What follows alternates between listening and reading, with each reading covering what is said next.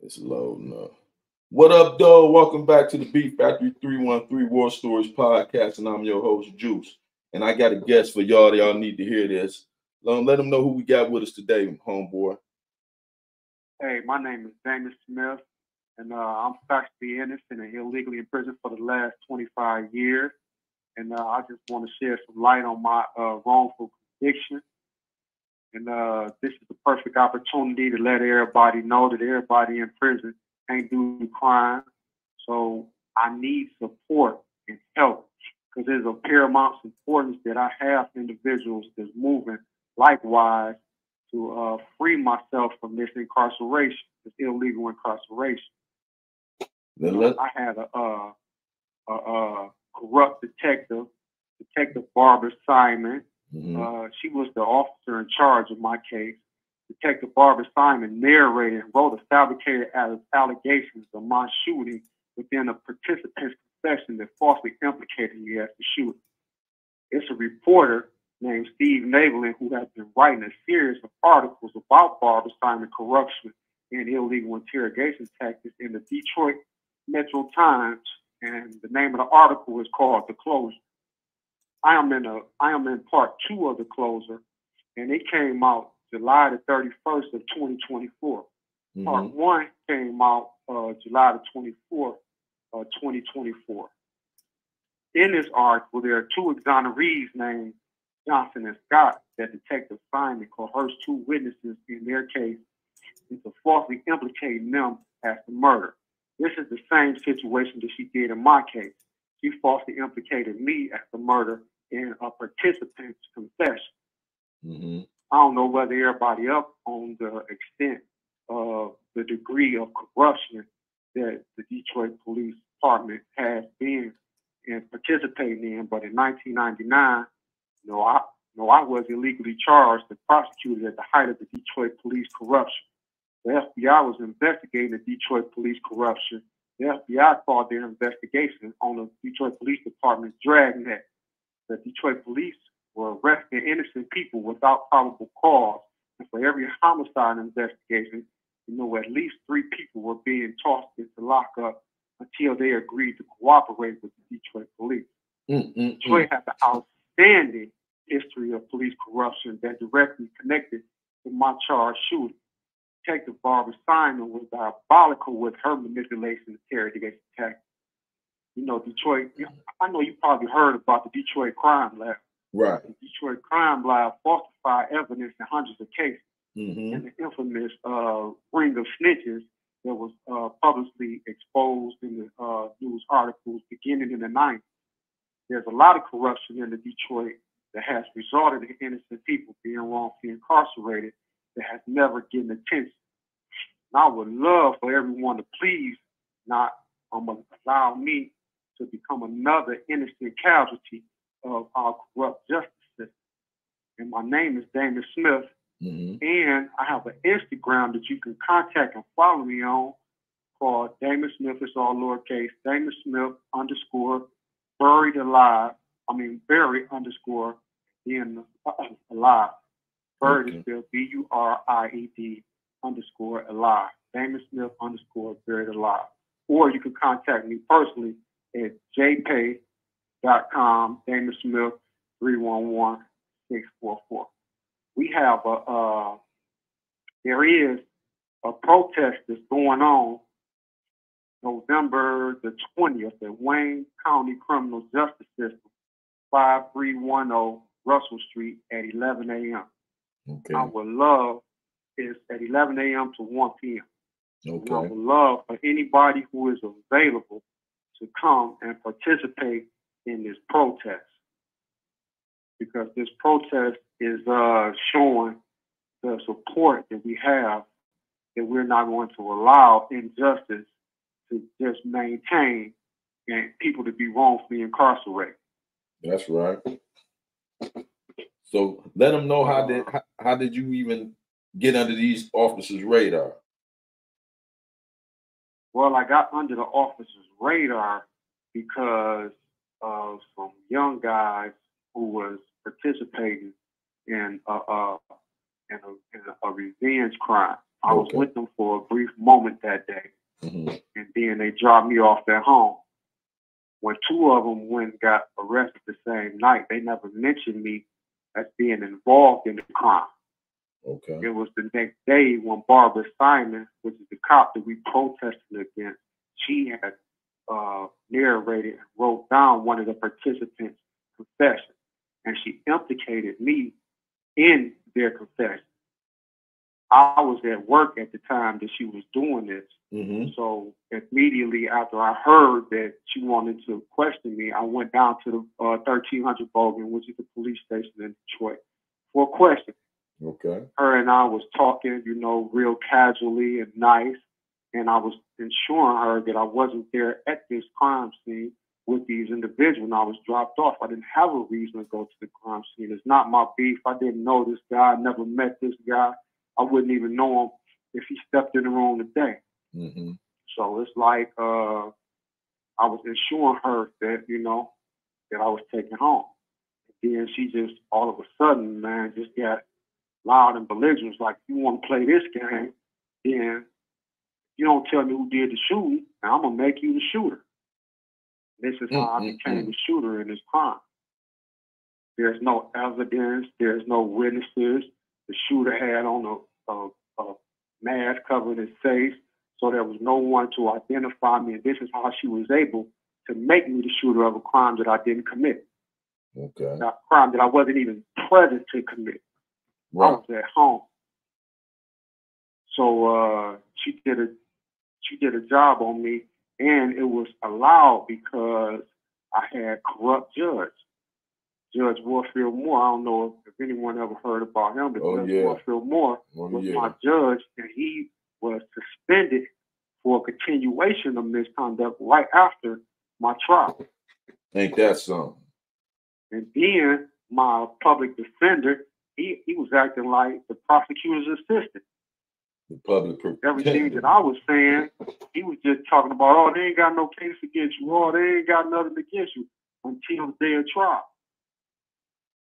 Then when trial came, I'm like, well, why am I going to trial? I don't have no evidence against me. And he was like, he just walked out the stormed out the bullpen and so I wasn't even talking to him no more. Get out of here. So that's insufficient of confidence. Yeah, absolutely. And then when I got to trial, well, not not the trial, before trial, even before I picked my jury, I stood up in front of Judge Warfield Moore and I asked for this counsel to be released, going to be fired. Judge Warfield Moore looked at me and was like, "No, we ain't gonna do that. We ain't gonna wait till we uh, get to the trial process and then fire your lawyer." And I'm sitting up here like, "But we ain't even started this yet. I already know what he about to do." So the fix was in right then and there, bro. You know, the fix was in. No police testified at my uh at my trial to establish that the allegations in which they accused me of actually occurred. Right. So nobody set the nobody set the foundation of fact for which the people who did it, the, the You have one minute remaining. uh, to establish the people what the people who did it Mhm. saying actually occurred. Mm, mm, mm. So did y'all have separate trials or y'all went to trial together? Uh, they didn't have a trial. What? They took pleas. They never went to prison. They never came to prison. And this is their crime. They, They just gave them plea agreements to blame me for something that I didn't do. so did they so when you went to trial, did they come to court and say you did it? They testified. They couldn't say I, I did it. Only thing they saying was, yeah, he was there. But when it came down with, go ahead, finish. and then to make that uh, to make that even worse, Mhm. by them saying that I was there, the judge curated all that at the end by reading the jury instruction, a, a, a accomplice jury instruction that didn't suit the case. Mm, mm, Thank you for using GTL. We have we have Damon right back. Give us one minute. We'll be right back, y'all. True. We back with y'all. We got Damon back. What's going on, bro? Man, everything's beautiful, bro. Everything's beautiful, man. We just uh working working our way through this system to freedom, man. Mm, mm. Working out. Uh, I believe you and I left off at uh you was asking me how did I get incarcerated. Yes, yes, we can start there. Right. Now after now now dig this. After my trial was over, they realized that they didn't have enough evidence to convict me. So therefore, my judge read a jury instruction, read an alibi witness jury instruction. And I Mhm. didn't have an alibi witness. Do I, I, well, I, I didn't have an alibi witness. You don't understand for me, right? Right. Because I got because of my trial attorney, well, my public defender didn't go and get my alibi witness. But the judge still read the alibi witness jury instruction. And the thing that the alibi witness jury instruction do is is is to tell the jury to decide your case based upon whether or not they believe the testimony of your alibi witness.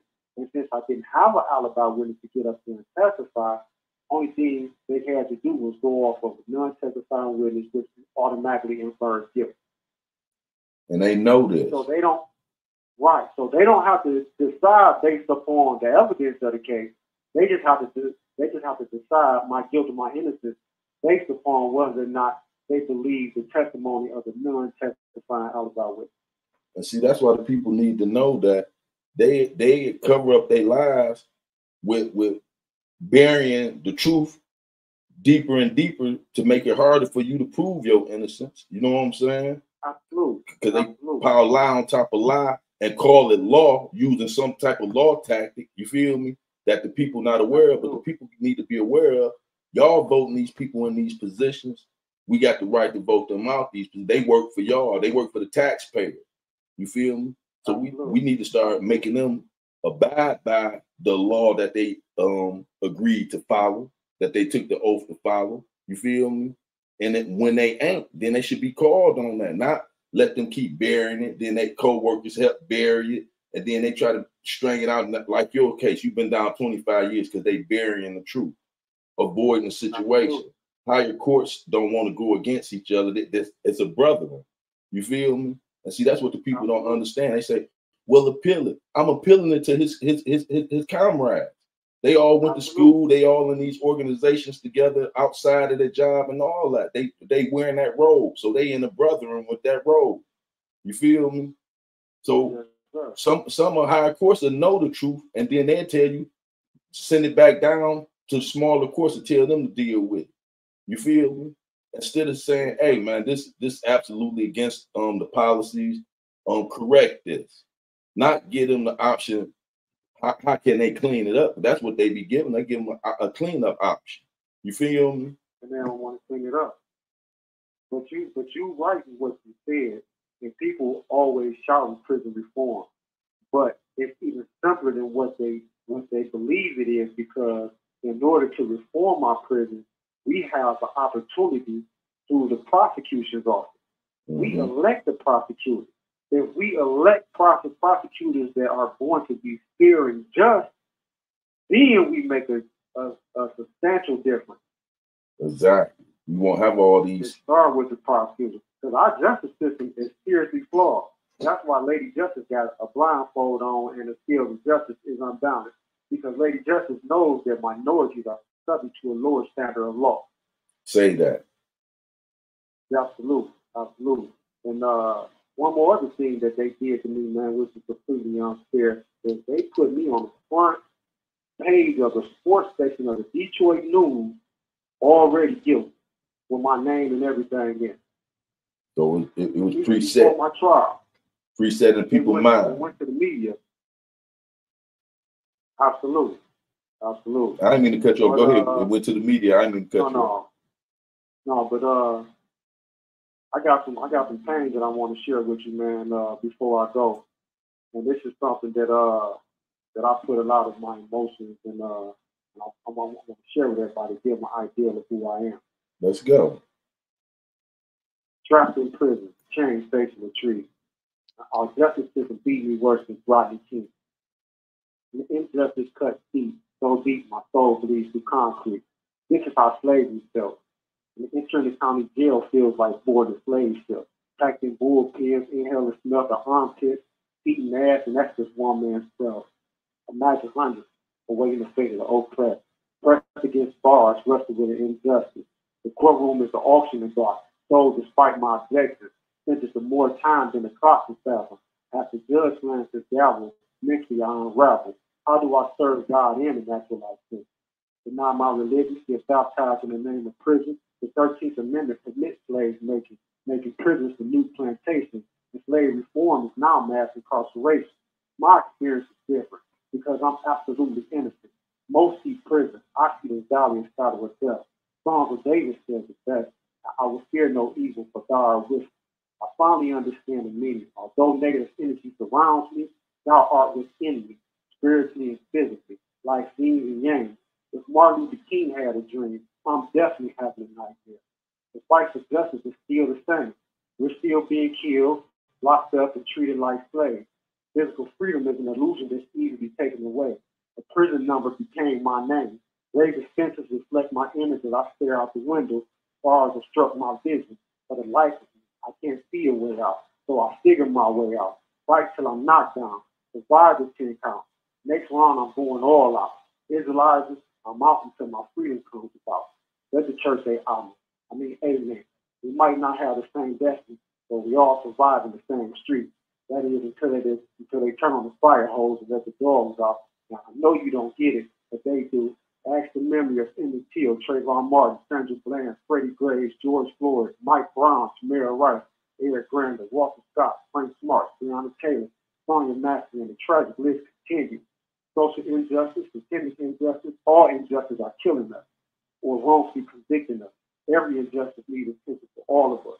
Wake up, get fed up because they're victimizing us. And I know you don't get it, but they do. It's called genocide. My name is Damon Smith, and I'm buried alive. Man, that that was deep there. that was deep. It wasn't a word lost. Very powerful message. I want that to get out. For real. Absolutely, Get that That's- to the mass That's people. how I feel, man. No, shoot. That's how I truly feel. Look, look at you being captive, held held hostage for something you ain't did, and then and trying to prove your innocence. They taking you through, um, making you jump through hoops to prove your innocence. That's why I tell young young brothers and sisters, we are already guilty until we prove our innocence. You know what I'm saying? They they set the laws and they know the laws. They went around. They be knowing we we ignorant to the law. That's why they made made up this thing. Ignorance to the law ain't no excuse. Absolutely. How that's no excuse? So y'all the ones wrote the law. How we supposed to know what y'all got going on? You feel me? When we when, when y'all locking us up as children, you feel me? So how ignorance to the law? us, Go ahead, go not ahead. giving us adequate representation. Thank you. You giving us lawyers that's underpaid, lawyers that's gonna do the bare minimum. Only thing they get is five hundred dollars. Ain't nobody gonna defend you for five hundred dollars. Right. And then they just selling us, man, to the to the system, man, and getting favors for our conviction. And it's not right, man.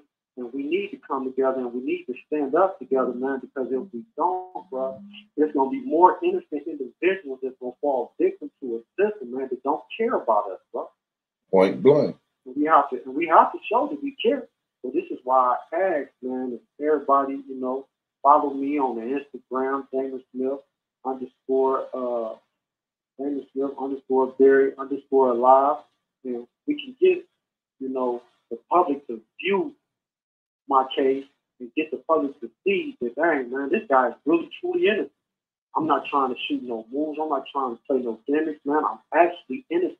I've been innocent for 26 years, and I've been trying to prove to these individuals that I didn't do what they accusing me of doing from the very beginning. Mm-hmm. My story has never wavered, even through the inconsistency of the evidence that they uh, put forth, man. Even though the corrupt detective, the corrupt judge, the uh, prosec- uh, the prosecutor, and my public defender that was acting like the prosecutor assistant. I ain't never, man. Listen, my story's been the same, and they can check it out. Only thing I'm doing now is going to get the evidence to support myself because I didn't have a lawyer or representation to do that for me. That's right. You have one minute remaining. You can call back. I got money on the phone too. Mm-hmm. Go ahead, say that again. I got money on the phone. You can call back. Most definitely. Most definitely, bro. But I should have never been charged with this case. The Brady, No. the Brady law ain't fall. uh, Um, is- is- that's not helping under the Brady law. Absolutely. I just haven't had the opportunity to present it. I'm just waiting on my opportunity to present all this, the, the violation, the uh, the uh, firearm expert. I got all that evidence, bro. I'm just waiting on my opportunity to get before somebody that really truly is concerned about, you know, me being free. Well, that's what we're here for. Absolutely. Support, man. If somebody get behind me and make these people pay attention to what I'm saying, man, I could be freed overnight. You an integrity unit too? Absolutely. I've been in integrity unit for three years. Let's work on I that. still haven't heard nothing. Man, make sure you call back, D. For real, call me back. Thank you for using GTL. Y'all hear the brother's story. He actually needs some help. I believe in him. Want y'all look up his case if y'all don't believe, because we, we automatically go against each other, don't believe each other. Everybody is not guilty of what they locked up for. I've been with a lot, of brothers and I read a lot of different paperwork, and y'all seen it on the news every month. Somebody being released that was falsely accused. Now it took 18 years and all. It shouldn't take that long to prove your innocence. You can't get that time back. Time is priceless. So it, you took 18 years out of that life, and you think because you give them a couple of dollars that make things right. People lose their parents, they lose children, they lose friends, they lose their spouses, and all y'all can do is think y'all getting them some paper. Come on now. But I'm gonna pause this here and wait on Damon to come back. Y'all just absorb some of that and, and, and go back and listen to that poem that brother just was demonstrating. It's a very powerful message and, and there's truth in it. I'm Juice, and I'll be right back.